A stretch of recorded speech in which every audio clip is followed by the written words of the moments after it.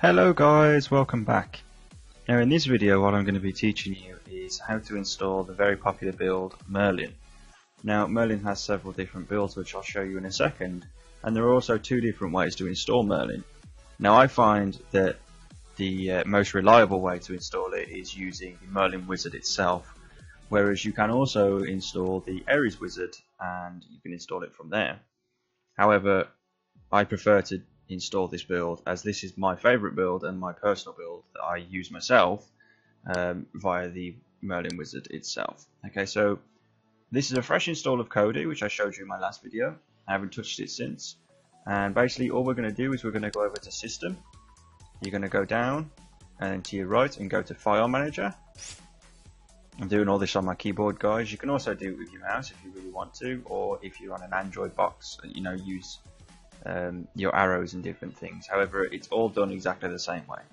So what you want to do is you want to go down to add source, press enter in this top box or however your uh, device allows you to enter it. And then the address is http colon slash slash mwiz.uk forward slash zip. And then what you want to do is click done. Now down here, you can change this to how whatever you like, it's, it's recognizable by you, as long as you know what it is, it doesn't matter. However, for the sake of it, I'm going to call it Merlin. We're going to go down, click OK.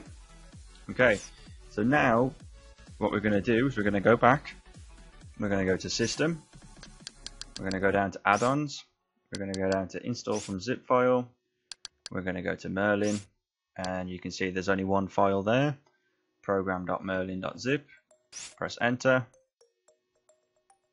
Now give this a second because this is now going to install the Merlin wizard for us, however it does take a second to do so. Okay, so now we have Merlin wizard installed and we're going to click enter.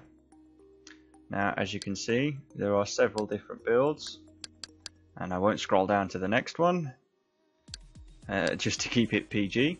Um, however, the simple explanation for everything is this is the uh, Big Daddy build, basically. This is the full build. And then Grittier is the um, lightweight version. Kids build is self-explanatory. Other builds are all of the discontinued builds for older builds of Kodi and stuff. So, for the purposes of this, I'm going to install Grittier because it's what I use. Now, as you can see, there's different servers. So if you try to install from one server and you get a response, you know, a 404 or something to say that it's down, then simply just choose another one. I always pick server 2. That's just my preferences. Don't know why, I just do. However, what this is doing now, it's just going to download download the Merlin build for us. So we'll be back in two seconds. Hello back guys and basically it's just finished downloading so now you're just going to see the process of what it does once it's finished downloading. It's just extracting all the files.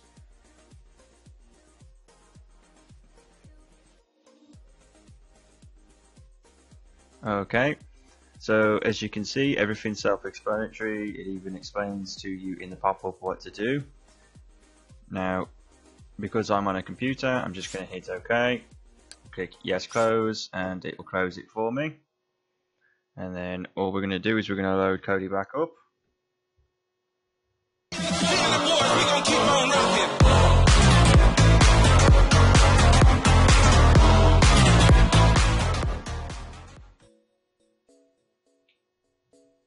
And as you guys can tell, Merlin was successfully installed. You can always tell by the music at the start However, make sure that you have your volume turned down sometimes because I have a home uh, home theater system and it does get quite loud when you turn it on. But as you guys can see, you now have Merlin installed and you can now go, you know, flick across everything and use everything to your heart's extent. So guys, I hope this tutorial was helpful. Thanks for watching